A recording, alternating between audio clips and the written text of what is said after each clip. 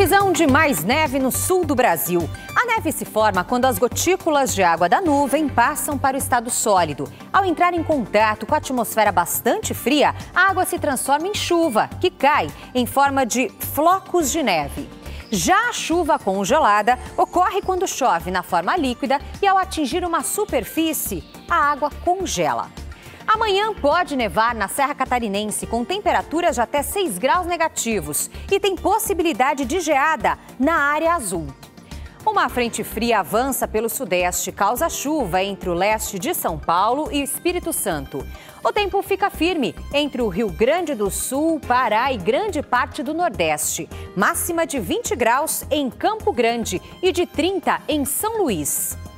Porto Alegre pode amanhecer com geada, mínima de apenas 2 graus. Em Aracaju, máxima de 27. Em Manaus, 35. E em São Paulo, tempo fechado, com 16 graus à tarde.